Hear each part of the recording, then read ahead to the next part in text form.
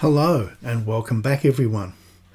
I recently mounted an ER40 collet chuck for my Toolmaster lathe. The collet chuck was a D4 mount and I made an adapter to fit it on a D8 spindle. I now have the opportunity to make a second mount to fit a 5C collet chuck to the same lathe. The chuck I have is a Bison. I've had it for a while but I've never used it. I have some interesting lessons learnt from this build and I'll share them at the end of the video. So, how do they compare? Well, let's find out. G'day, I'm Stevo and welcome to the Outback Shed.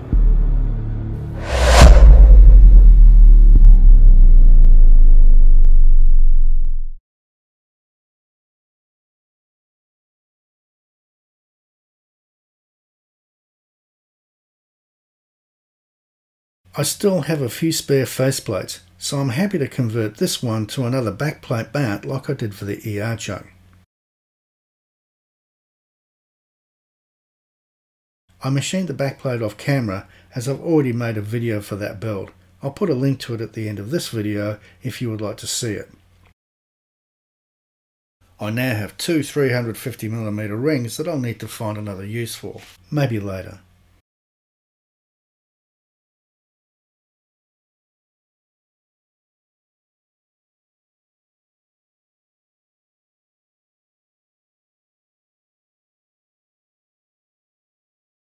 There are a few practical tests to do, so let's see how the chucks compare.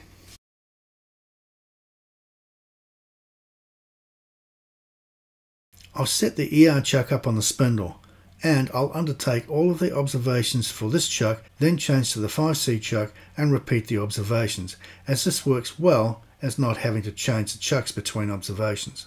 The ER collet chuck is an M&G brand. They're not expensive and they're very well made. I'll swap the observations around during editing to show each for the ER followed by the same for the 5C chucks as it makes more sense to see the same observation on both chucks before moving to the next.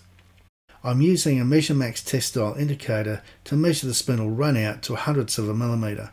Then I'll switch to a no brand test dial indicator to go the next step and measure microns. There's very little movement shown on the hundredths indicator while the high res indicator is showing maybe half a micron. I redialed in this chuck off camera. It was very time consuming and fiddly, but that doesn't make for interesting viewing. However, after a lot of patience, I got the best result I could. I changed the mounting cap screws for the ER chuck from stainless to hardened steel after reading the comments from a viewer left on the previous video.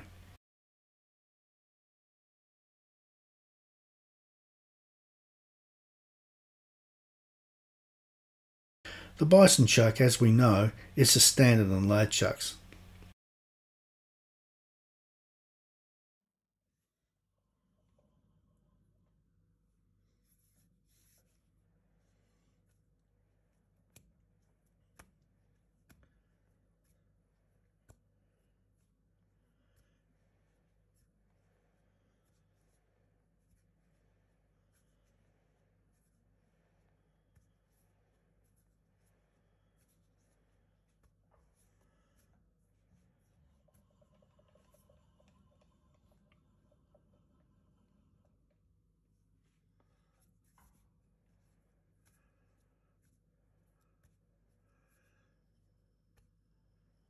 The indicators show the same run out as for the ER chuck, about half a micron.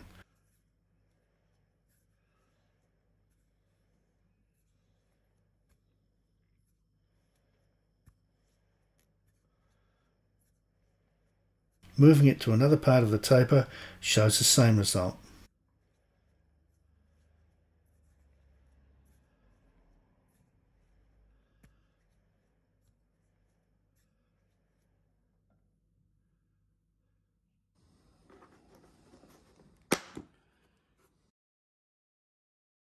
I have a set of high accuracy ER40 collets. The standard collets are rated to 0.015 millimeters. These are rated 0.008 millimeters.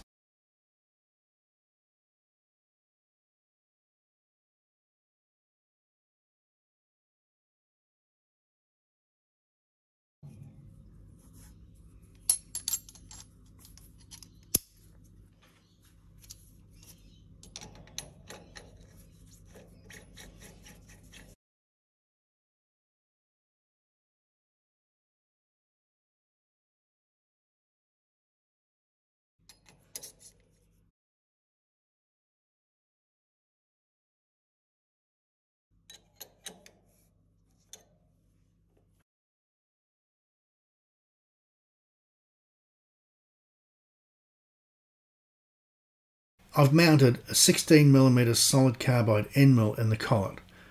This is an M&G dial indicator, which I've had very good results from, and I have a Moore and Wright micron indicator, which is a well-known brand.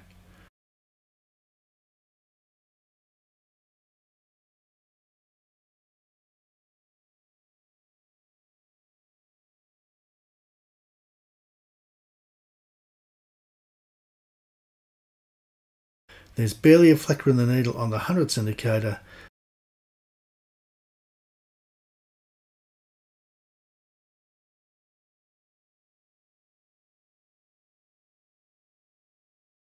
I have both metric and imperial 5C collets. The imperial set has increments of 1 16th of an inch. This is the metric set. They came in plastic tubes which I quickly discarded and I made this box for them. I also have some hex collets. They haven't had much use, and most of them are still in their plastic bags. It's worth noting that these are not Hardinge or similar branded collets. In fact, these are not branded collets.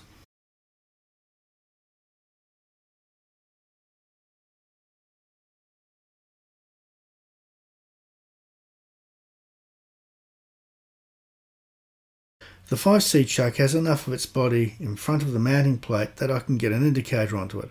The chuck body shows a flicker in the needle, but I don't think it's good enough to mount without the Set-Tru feature. I think that was well worth the extra work needed.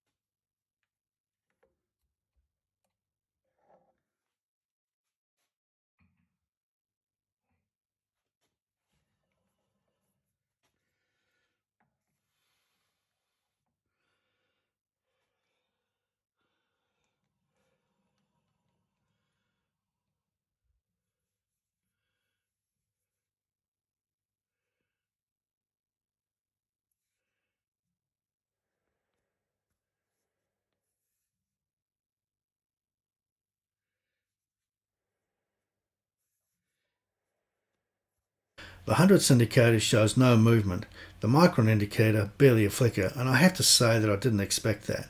But I don't accept zero, and I'll consider this to be about half a micron. This is just too small a value to be true.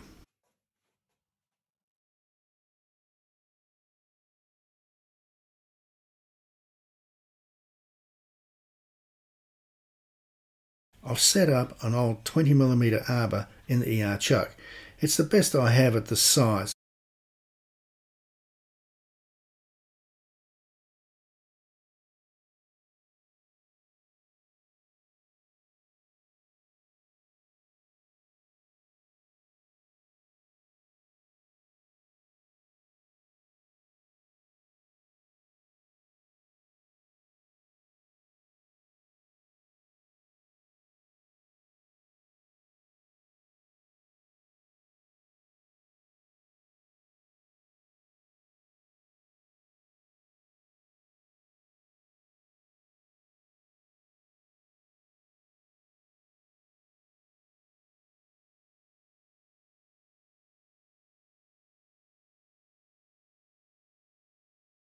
The hundredths indicator shows only a slight movement.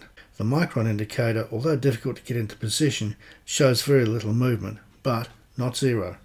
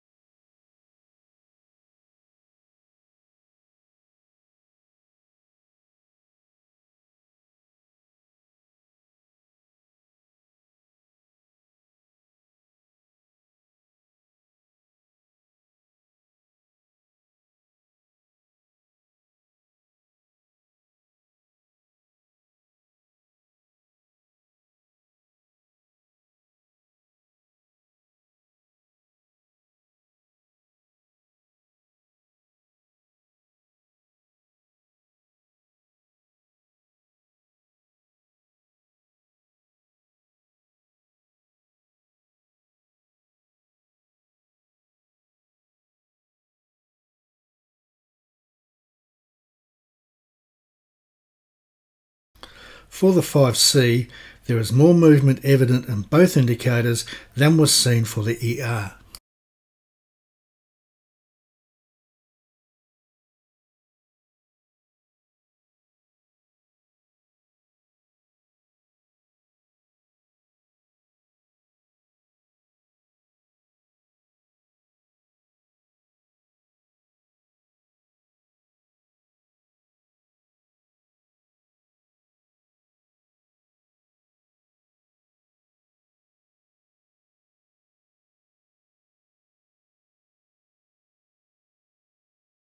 I've installed a 25mm test bar into the ER chuck and I'll make some observations at three points. Close to the collet nose, 50mm from the collet nose and 100mm from the collet nose.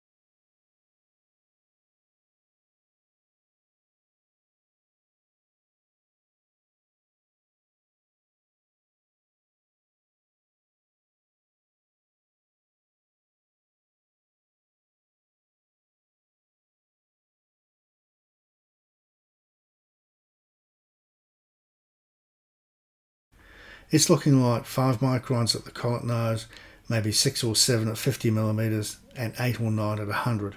But that's all less than a hundredth of a millimeter. There are differences in the observations and that would indicate possible axial runout. This may be in the chuck or it may be in the collet or a combination of both.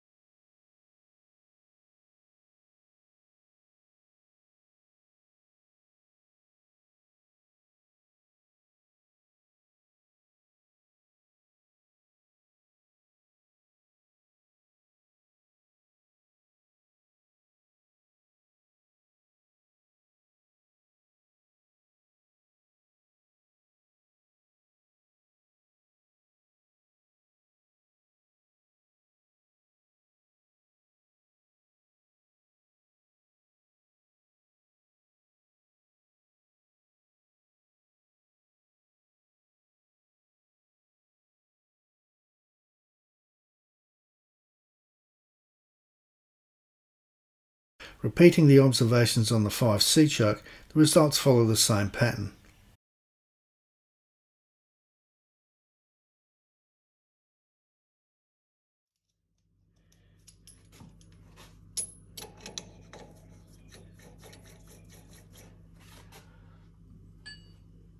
It has been suggested to grind the chuck seat on the back plate, but I don't have the equipment for that and I'm not sure it would make any difference anyway.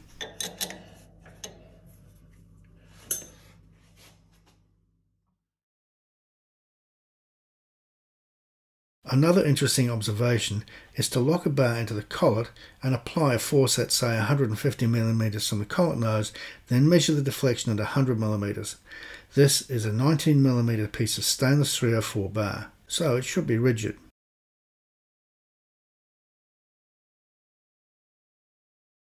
I attach the suitcase scale to the tool post so I can wind out the top slide and apply 20 kg force. Then measure the deflection at 100 millimeters from the collet nose.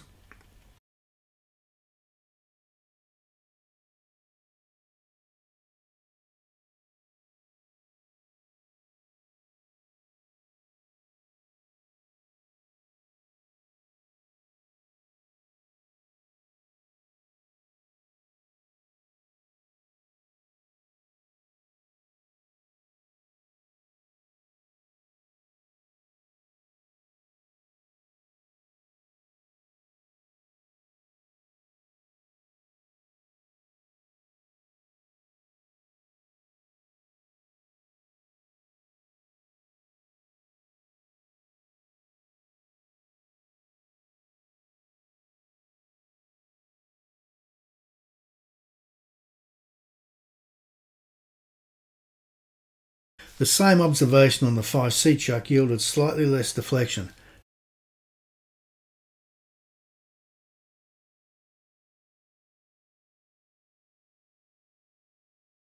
The real measurement is in the performance of the collet during work. I've set up a length of 20mm 2011 aluminium bar stock and I'll machine a 100mm length, then measure the diameter at each end.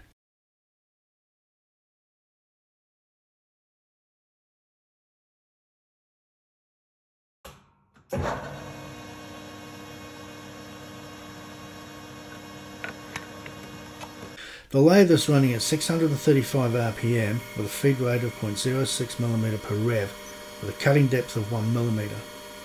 I'm using a high-speed steel tool bit and this is a roughing cut, not a fine finishing cut.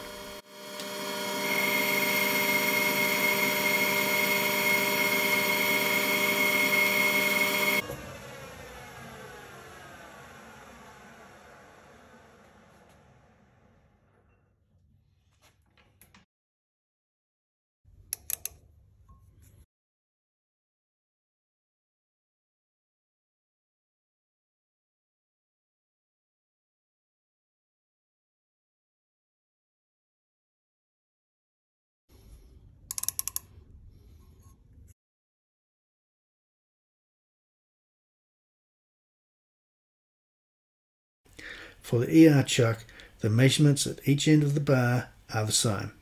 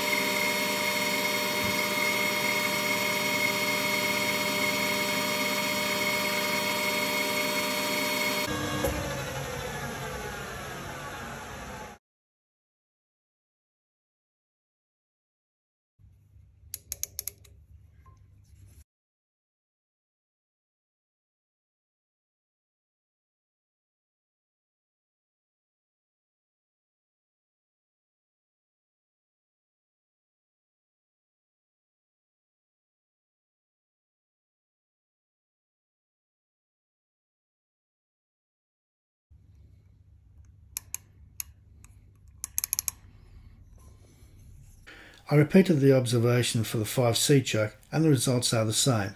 there is no difference between the measurements at each end. All in all, I'm happy with the builds. I used an end mill, an old arbor and a test bar. It would have been preferable to use gauge pins, but I don't have a set. The 5C collets I have are not branded, but they did provide some good outcomes and I'm very happy with them. The indicators often did not agree on what they were measuring. Small movement of the hundredths indicator was at times followed by a thousandths indicator that visibly appeared disproportionate, which raises the question, which would you believe? The test style indicators I have are not good enough at this level, except for the Moore and Wright. I think maybe it's time to invest in some Mitutoyo or similar indicators. To put things into perspective, although I do have air conditioning in the shed, I don't have climate control. This is not a class 3 clean room. It is a shed and it's subject to dust, temperature and humidity changes. For example, it was 38 degrees outside for some of the project, then the temperature dropped to under 30. What shows as 1 micron today likely won't tomorrow. Chasing zeros was fine once, but it's not something I will repeat anytime soon. I have heard from people who reset their grip trues every three months, and while that might work for some, I don't think I'll be doing that. One viewer even commented that even breathing on it can change the observation. Well, I'd better be really careful then, hadn't I? These are observations that I got in my shed on my equipment with my indicators and local conditions.